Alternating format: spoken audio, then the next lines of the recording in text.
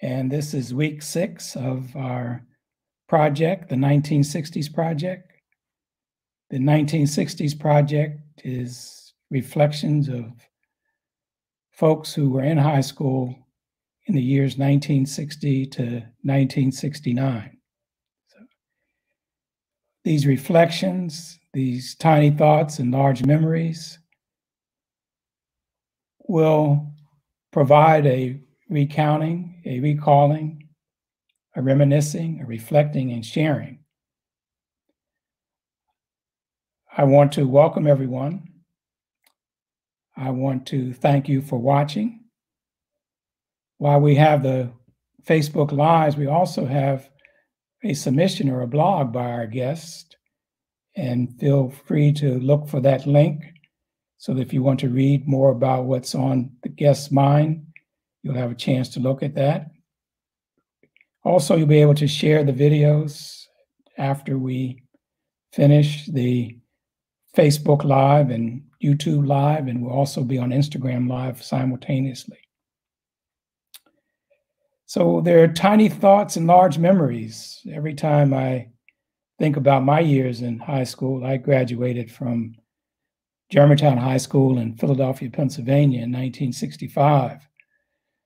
So that means I was in high school in 1965, 64, 63, 62. So for those years, uh, early part of the 60s. The class of 65 in literature is known, is known as the infamous class.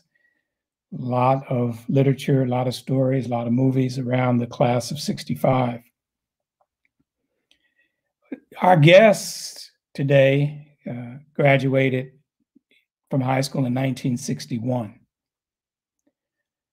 As I start these shows, I like to share some facts from that period or some news clips from that period. That was the year that uh, the Soviet Union Soviet Union sent someone into space, Yuri Gagarin. He was the first person to go into space, and then later that year, the United States launched Alan Shepard into space. So that's when the race for space began. Uh, 61 was also a fateful year because that's when the Berlin Wall uh, was constructed, which divided East and West Berlin. And it was probably what been a decade, 15 years since the wall was removed. And the East and West are still struggling to overcome the challenges of that period where the country and the city were divided uh, by that wall.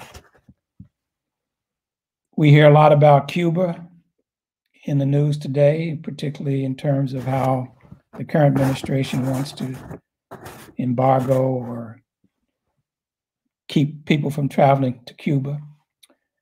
In 1961 was the uh, Bay of Pigs invasion, and that was an unsuccessful attempt by the United States to overthrow Fidel Castro. And that was an event that has shaped the relationships between Cuba and the United States since then. On a more hopeful note, in 1961, the Peace Corps was established. And that organization went on to do great work in many countries throughout the world. And also, the Worldwide Fund for Nature was created. We can see the significance of the nat- noun as the we face in the United States periods of fires in the west and hurricanes in the south. So preserving the environment is something that's very important on our top of our lists. When it comes to the African American experience, in 1961, was the what we could call the official launch of the Freedom Rides. 11 members of the Congress of Racial Equality, or known as CORE, boarded buses in Washington, D.C., and headed to various points in the South. And I remember watching some of that on television as the Freedom Riders were attacked at different spots along the way. There's um, also the University of Georgia admitted its first two African American students, Hamilton Holmes and Charlayne Hunter Gault. And Charlayne Hunter Gault went on to be a well known journalist. Now, it was not uh, peaceful because the campus, there was riots on campus because of the resistance to have African Americans attending the University of Georgia. Some of these issues we'll be touching on with my guests as we talk about racial progress and affirmative action. In 1961, Motown was founded. So the Detroit sound became popular. Uh, the beginning acts were the Temptations, the Supremes, Stevie Wonder, and also in 61, the Marvelettes released their hit, Please, Mr. Postman. Wait a minute, wait a minute, wait a minute, Mr. Postman. Still rings in my head today. The top R&B tune for 1961 was by The Miracles, and that was Shop Around. And many of you may remember that as well. So what I'd like to do is uh, invite my guests and Judith Winston to join me. Bring my screen down. Uh,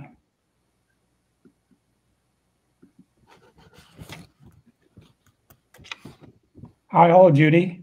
Hi, how are you? Well, welcome for joining us. So, Judy, you were in high school, like, wow, I don't know, I can't even count that far back. No, 58, 59, 60, and 61. So, you, oh. you take us from the 50s into the 60s. Uh, so you you graduated in what year? I mentioned it earlier, but what year and what's um, I've, graduated? I've 61. Okay, 1961. And what what high school?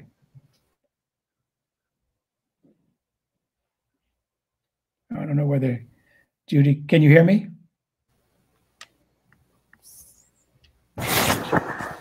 Judy, can you hear me? I can hear you, yes, but uh, there was a little interference. I'm not sure it's on my end or yours. Okay, it's the technology. Nothing, nothing to sweat about. Whatever happens, happens. Okay. So what, what high school did you graduate from? I graduated from the Philadelphia High School for Girls, Philadelphia, okay. Pennsylvania. All right. And I mentioned that the Temptations got formed in 1961. Was it uh, this year, earlier this year, or latter part of last year, we went to see the Ain't Too Proud to Beg show in Broadway. Do you remember that? It was a year ago last June. Oh, wow. So it's been that long. Yeah, right. we weren't going anywhere this June. but yeah, do you remember anything about that show? I remember being so excited to hear those tunes. I mean, it was really a, a way of transporting me back to my youth uh, because that was one of my favorite uh, groups. Okay. Do you have a favorite song from them? Um, you know, I was trying to remember um, uh, some of them. I think you mentioned uh, Mr. Postman. Oh, that's the Marvelettes. That that's the Marvelettes. Okay, so um, I do remember going to see the Temptations. I believe they appeared in Philadelphia in a, mm-hmm. at the Uptown Theater, Georgie Woods. Okay, Georgie Woods, the man with the goods. right. For those from Philadelphia. He was um, he was a favorite uh, radio disc jockey. Now, I do remember one song uh, that was particularly wonderful and part of my high school years. It was Unchained Melodies. Do you remember that song? Oh yeah. Mm-hmm.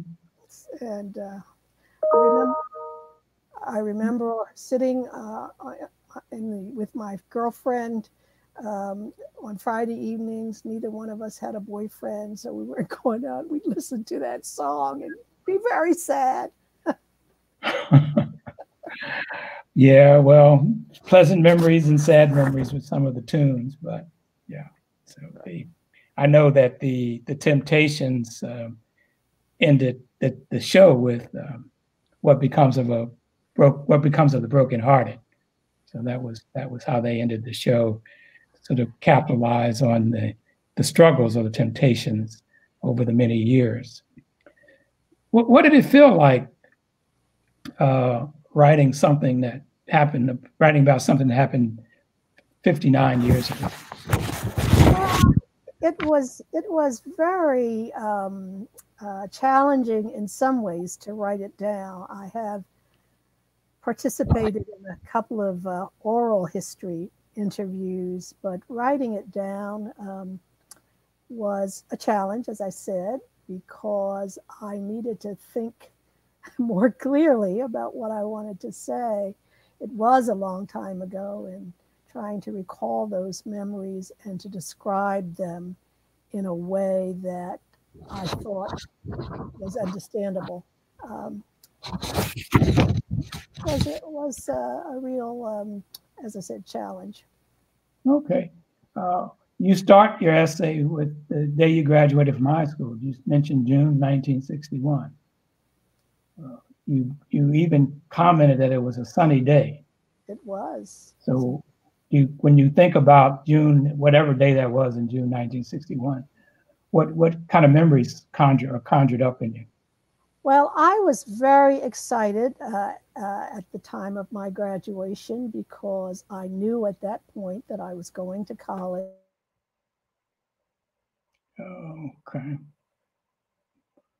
Uh, very curious about it because I had I'd never been to Howard University, which is where I went, and I had no idea what I would find there. In your in your in your submission in your blog you mentioned that your what, what was your concept of college? Even you hadn't been to howard university but what was your concept of college? I, it was very strange. I used to love musicals and there were a lot of uh, not a lot but several uh, musicals uh, featuring uh, white college students of course at college and there was a lot of singing and dancing on tabletops in the um, soda shop or whatever. I mean, I, I never saw anybody in class. so, were, were you expecting the same thing when you went to college? I had a feeling that that was not going to be my experience. Um, but, uh, you know, I really, I, as I recall, I didn't really know what to expect, except I was going to college, and that was a dream and a hope that I had for many, many years before then. Well, where did that dream and hope come from? Did, were you?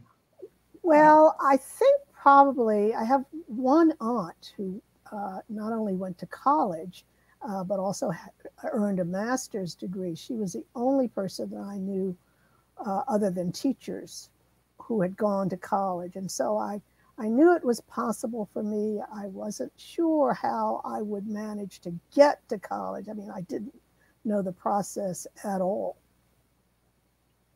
And then, well, what guided you to college? I mean, was were you in a uh, academic program in high school that led yes. college? Or? Yes, uh, girls' high school was a college prep high school, and it was a school that one was required to either take a test to get into or get into with um, excellent grades from earlier uh, schooling, junior high school in my case. And so there was um, an expectation uh, in that school that all of us would someday be going to college. I must say, however, that there wasn't, as I recall, that much guidance about just what the process would be. I think it was assumed that many, if not most, of the girls came from families whose parents had gone to college. Mine, of course, had not. Okay, your your parents and I. I'm asking these questions like I don't know, but I guess I should let folks know that we that Judy is my sister-in-law. But since I'm the interviewer, yes, he, he's married to my sister Cynthia. Right. So uh, your your parents, Judy, you said that they did not uh, go to college, but did they encourage you to go to college? Um, yes and no. They were very both very encouraging to me about my education, and getting an education. Um, and um, but but neither of them either had a sense of um, you know what it what what it was all about. I, I remember very clearly that I had to um, get the information myself about you know how to apply and what the costs would be and um, also how to apply for a loan uh, which I needed in addition to a scholarship that I uh, managed to win. Before before we talk about college, you, you mentioned in your blog that you the title of your of your blog is "The Making of Me," and you mentioned in high school a significant event that caused you to think about who you were. Uh, yes, actually, there were many instances that caused me to think about that, but the one uh, I talked about in my uh, blog is um, on the day that um, the, over the loudspeaker in the classroom, we were all in our homeroom classroom, there was an, an announcement that all Negro girls who wanted to meet with the Howard University uh, uh, recruiter should come to a certain room at a certain time. And when that time came, I got up from my seat in my homeroom to uh, to go to the meeting, and my my homeroom. Hmm. where are you going? I said, I'm going to meet the Howard University recruiter. So you did, before before you go on, there was a pause. So you were saying what your name was? Can you can you repeat that? Well, um, she yes, she said Miss Mariano. My maiden name was Judith Mariano, and she called me over and said, "Where are you going?" I said, "I'm going to meet with the Howard University recruiter," and she said to me, "That is only for Negro girls." And I said to her, I am a Negro girl. And I just remember she she just started coloring, uh, just turned a bright red because clearly um, she didn't know that. And so it was, it became clear to me that there were probably a number of my teachers in high school, all of whom were white, that did not know that I was a Negro. Um, and that's my high school graduation picture of my mother, my brother, and my sister. I hope my sister's not watching. She did not like that picture. anyway, um, I uh, so that you know that was another indication to me that uh, there was a lot of confusion among some people. None of my black friends, I mean, nobody in the black community, the Negro community, as it was known then, thought that I was anything but a Negro girl. Uh, but it was um, it, it was confusing to me. And race, the co- the concept of race and my identity was uh, very much um, confused in my mind uh, until I got to Howard University. You mentioned you had no white teachers at, at Girls High. No black teachers. I'm sorry. I'm sorry my, my, bad. Yeah, no, no, no black, no black teachers. But did you know Mary Wright? I did. She came after uh, I graduated. Um, her daughter, her daughter was uh, in at Girls High School at the same time that I was. I think was her was her daughter Miriam or was the teacher? No, uh, the daughter's Laverne. Laverne, that's great. Laverne Wright uh, was, I think, a junior when I started. Okay.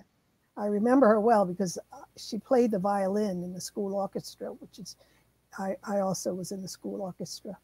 Okay. Well, Mary Wright taught mathematics at Girls High. So she was a black teacher who taught mathematics at Girls High. She's also the wife of uh, Dr. Jeremiah Wright Sr., who is the, obviously the father, father of Jeremiah Wright Jr. So you have that connection. Um, another Wright connection there was that uh, Jeremiah Wright Sr., the husband of Mary Wright, married uh, Cynthia and I. So there's a oh. lot of lot of right. Wright connections going on there. so. And he was a pastor to um, Barack Obama and Michelle Obama when they were in Chicago. Oh no, the junior, junior, junior? The, not junior, the senior one who's married uh, Cynthia and I. Oh, okay. So okay. was a junior one pastor too. Right. We were members of the Grace Baptist Church of Germantown, I and see. Jeremiah Wright Senior was the pastor. Found I believe it might have been the founding pastor of that that church. I see. And, I see. and helped that grow. And then so during that periods of growing up, we interacted with uh, Jeremiah Wright Jr. and Laverne. So because they're they were the church family, and we were. I see. We were we were the par- parishioners. Very interesting, and I didn't know that, or I didn't remember that. Actually, I think I had heard that once. Mm-hmm. So. so, so you get to Howard. How, how did you get to Howard? Did you did you fly? Did you take the bus? no, I did not fly. Um, I remember my father put me on the train to go to Washington, D.C. Um, and he, I remember he apologized that he could not afford to send me on, in a parlor car, which I had no idea what that was at the time. So I was on a train and I actually. Hmm. And can you hear me? Yeah, you, you, her, you, said you were on a train. For some reason, we have some latency challenges here with the technology. But you said you were on a train.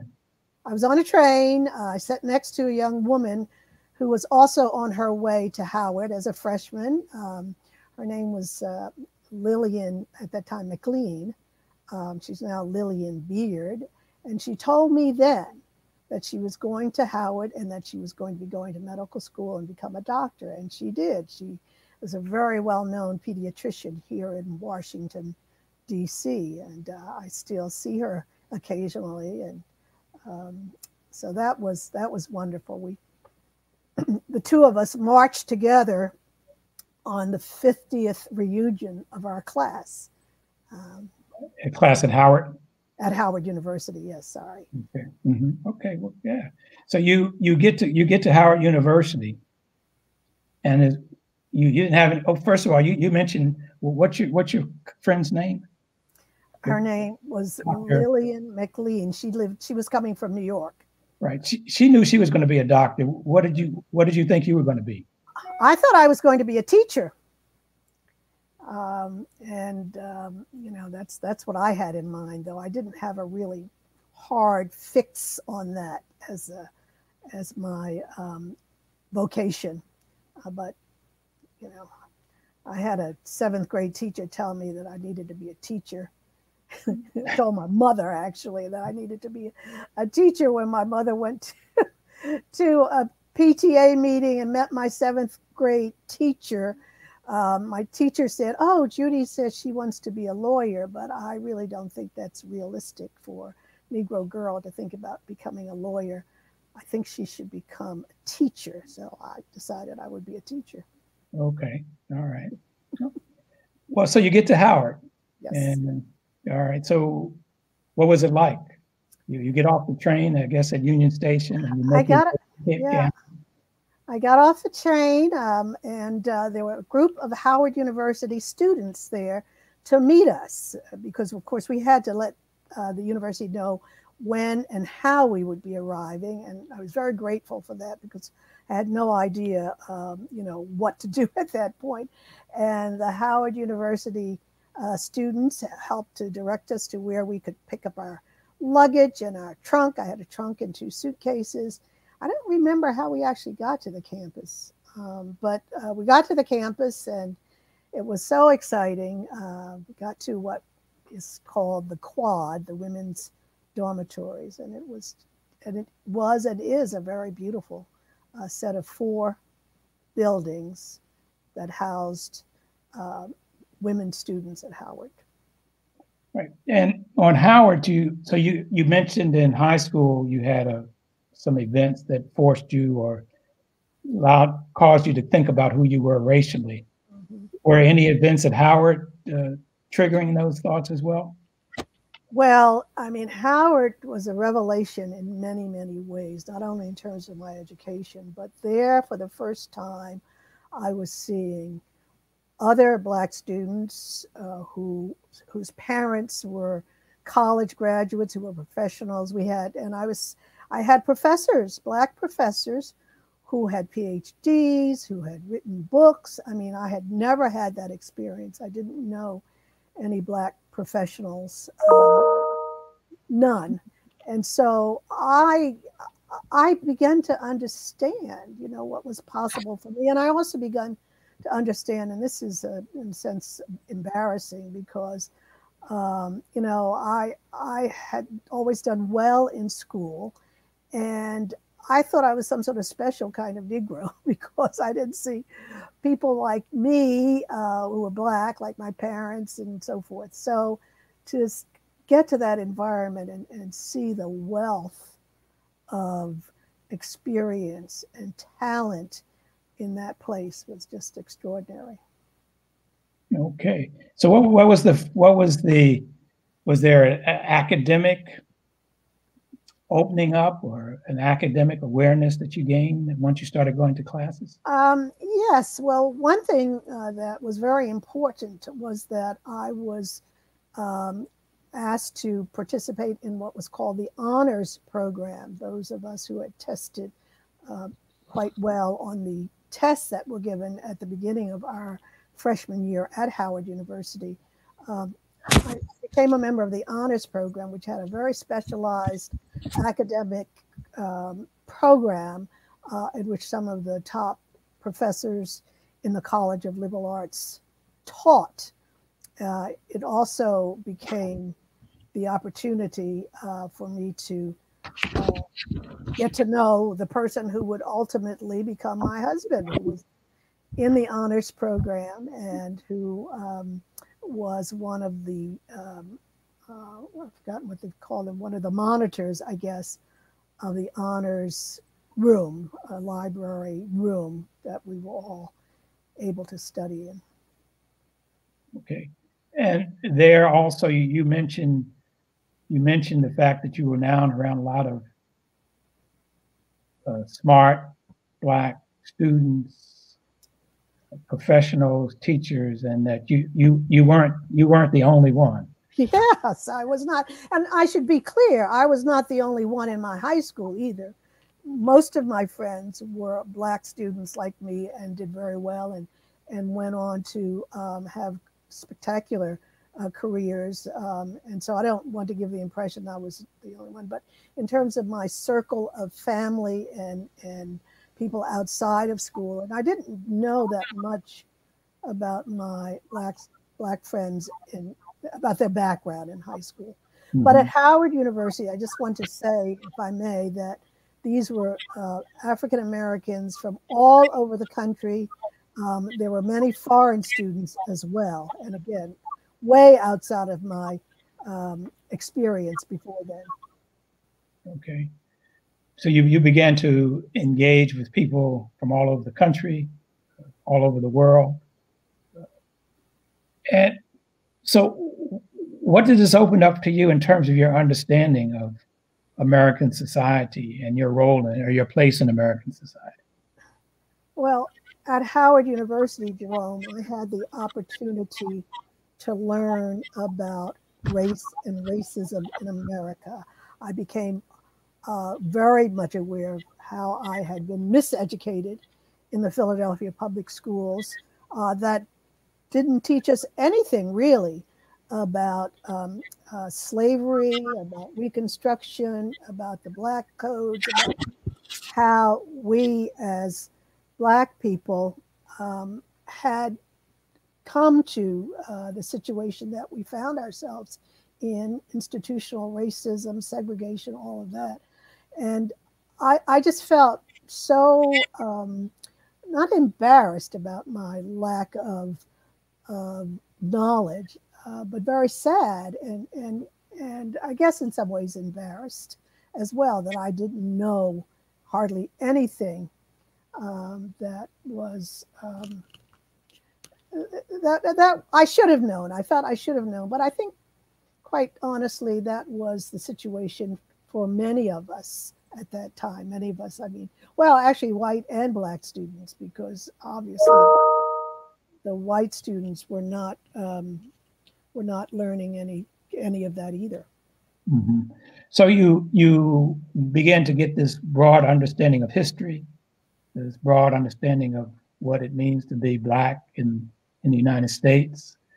Uh, how how did that shift your perspective of yourself? Well, um, I think it gave me a, a, a, grounding that I did not have before. It also led me ultimately to the career that I have had. Um, I became.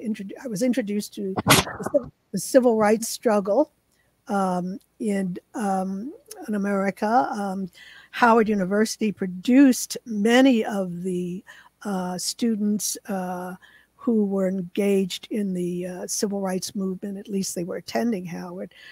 I remember one of my good friends during my first and second year there was Stokely Carmichael, who um, subsequently became what was his he, he changed his name mm-hmm. uh, and uh, i can't recall at this moment was it was, he, uh, was it kwame did he change it to kwame i oh, think so. I think so. i think so. Uh, you know my memory these days is terrible. But uh, yeah, so yeah that's right. Yeah kwame ture.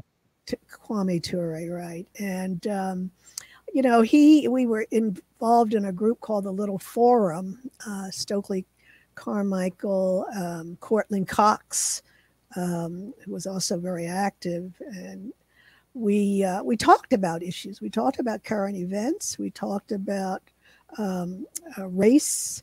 We talked about civil rights, and I mean, it was like my eyes were just expanding as I learned this. And then I started to work for uh, one of the professors um, there who had a contract to work on school desegregation issues, research on school desegregation.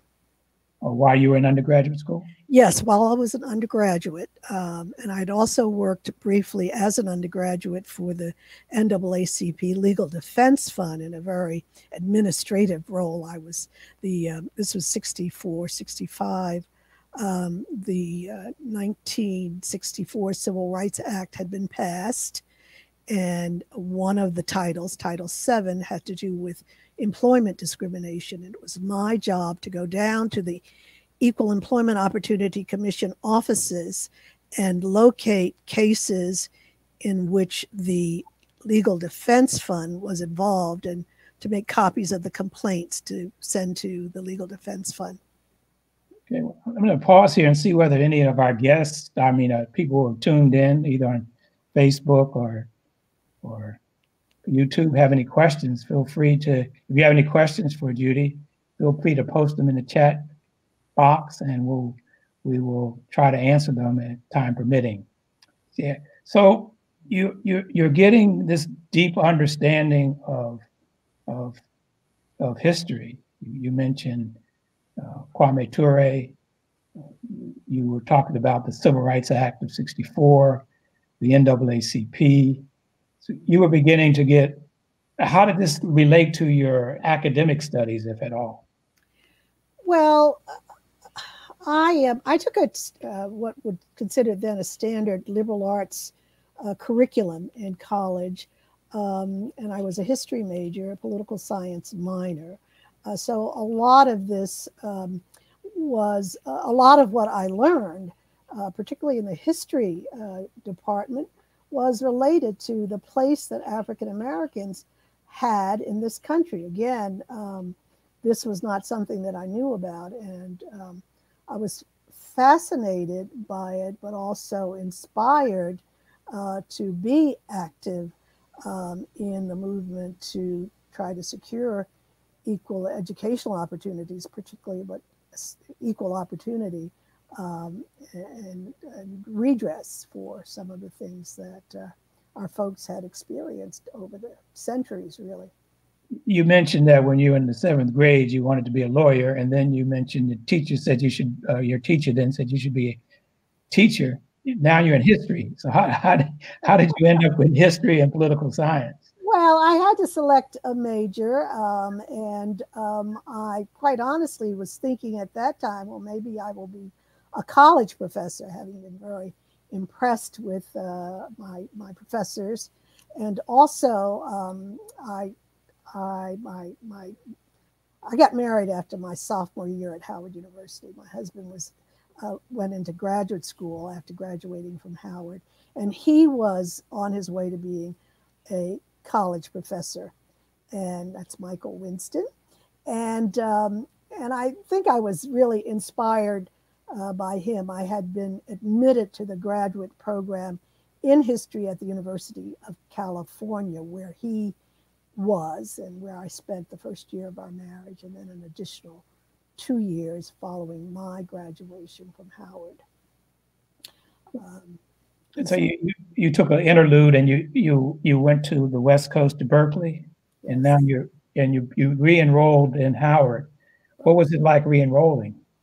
Uh, well, it was very different because I was no longer living on campus. Uh, my husband and I lived uh, in an apartment uh, that we had to, uh, where we had to use public transportation to get back and forth to the campus. He actually was teaching at Howard at this point. He was an assistant professor. And uh, in fact, I had to take a course from him while we were married and he was teaching. That was an experience. Well, we'll save that for another conversation. Yes, indeed. Off air. we'll save that for an off air conversation. But uh-huh. I must, I, I, have to confess, I'm not confess, but I, uh, I, I took a course from Michael Winston as well, Dr. Michael Winston. Uh, and it was a course that was significant in my academic development. I think it was called Modern Revolutions and Liberation Movements. So exactly. So it was it was a course that gave me a grounding for a lot of my subsequent research and interests. So it's all in the family. so, but so you you graduate from Howard, and you what's next? I graduated from Howard. Um, at that point, we were expecting our first child, Lisa. Uh, and she, um, yeah, there I am. I'm pregnant at that time. And uh, uh, so when we went to Berkeley, as I mentioned, I had been admitted to the graduate school, but I decided I needed to put off school until after the baby was born, certainly. And after she was born, I decided I really didn't want to leave her to go into graduate school. So I, um, I was uh, at home with her for the next two years. Um, and uh, we in Berkeley, California, and uh, we returned to Washington in 1968. Okay, and at what point did you did you go on for additional? Did you go on for additional education? Um, I did, but some years later, um, I had begun to work at a place called the Council of the Great City Schools, and I was working on uh, racial desegregation issues with some big city school districts. Um, I was a, started as a research associate, and then I came to be the director of the program. Um, at one point uh, in 73, 74, I realized that um, I was working with people who had law degrees, who had PhDs, um, master's degrees, and I felt a little bit as though I needed to get some additional grounding certification. And so that's when I decided to go to law school rather than graduate school. First, because it was only three years and not eight years to complete a PhD and dissertation. I went to law school, Jerome, and in the back of my mind, I think I was hearing my seventh grade teacher saying, You can't be a lawyer. Uh, and I thinking, why not? Okay. So you, you become a lawyer. I do. And what, what's your career as a lawyer?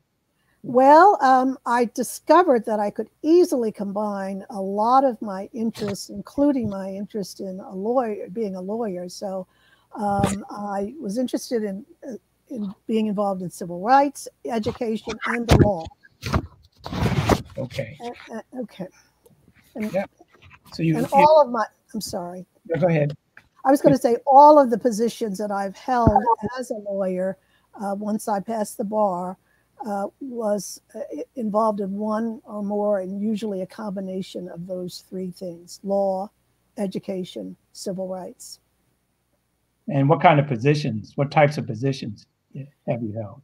Well, um, I have, um, I've been a, a special assistant to the director of the Office for Civil Rights in the then HEW. I became an assistant general counsel at the U.S. Department of Education. I also worked uh, as legal counsel and executive assistant to the chair of the Equal Employment Opportunity Commission. I was an appointee, a political appointee in the Clinton administration for eight years. I was general counsel of the U.S. Department of Education, also served as undersecretary uh, for uh, and general counsel for part of that time.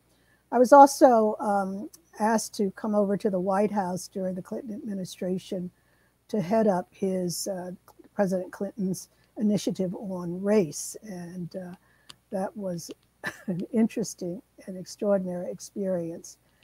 Uh, one that I'm glad I did, but I would never, ever, ever go into the White House again to work. It was quite, uh, it was quite a, uh, a, tiring experience. I was very, I remember when I finished there to come back to the Department of Education.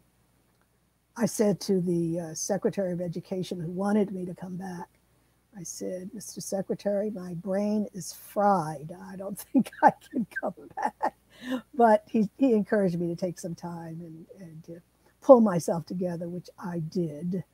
And uh, I also, um, just to finish this up, I was a uh, law professor at American University for several years before going into the Clinton administration.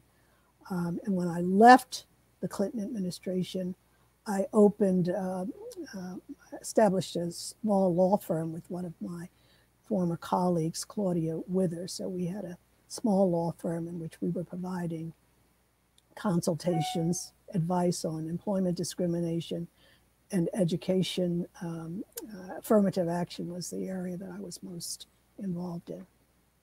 So, looking back, if we go back to the title of your blog, The Making of Me, how would you sum up how you were made?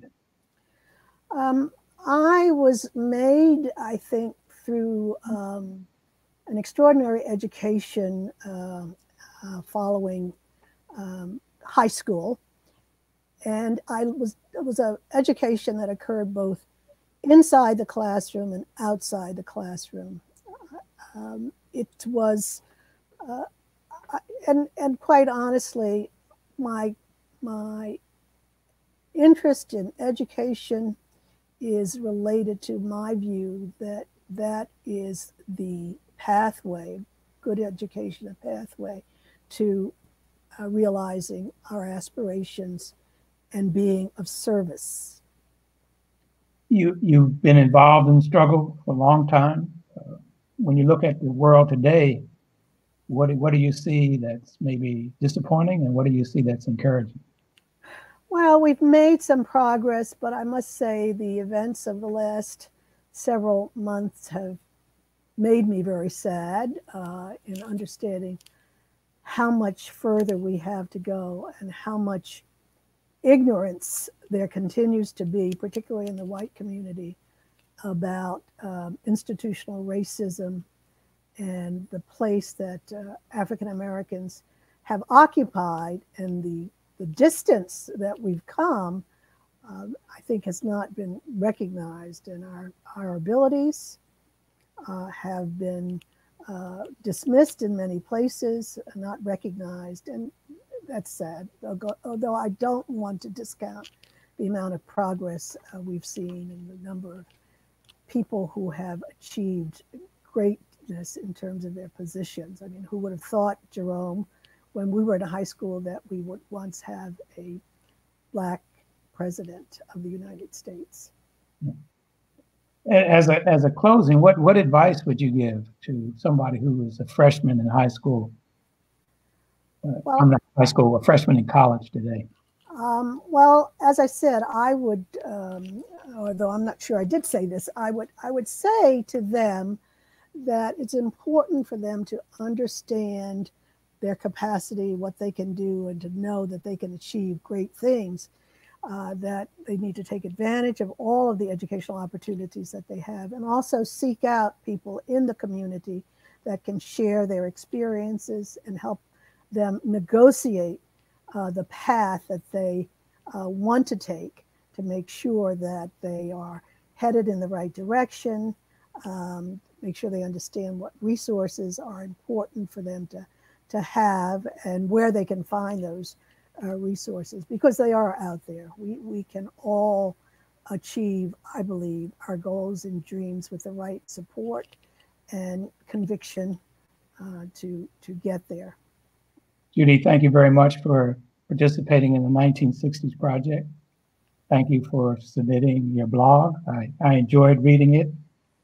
I encourage everyone to read it as well. It's, it's posted on the website, What's on Jerome's Mind, and then the 1960s project. Again, thank you very much for participating.